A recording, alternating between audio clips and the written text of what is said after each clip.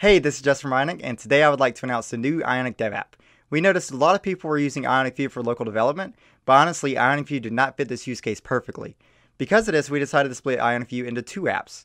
The new Ionic View, which allows you to deploy your apps to friends, family, coworkers, and clients uh, with a lot more new features, and Ionic Dev app, which allows you to develop locally on a device with not only Cordova plugin support, but also live reload, all without having to set up Cordova itself or the native SDK toolchains. Let me show you how it works.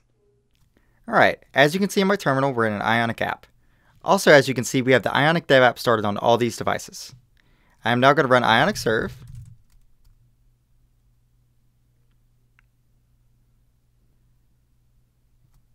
And as the build process finishes, you will see the Ionic app pop up on the Dev app.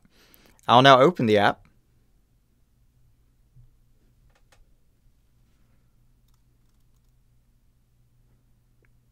And as the app starts to load on all these devices, you'll see they're all running the Ionic Conference app. All right, let's make a change. So we're going to change the theme color to a nice red.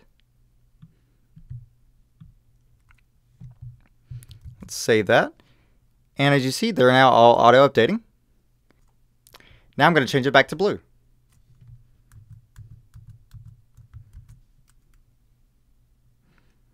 All right, and there's that nice Ionic Blue.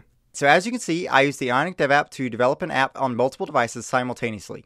For more info, check the description below.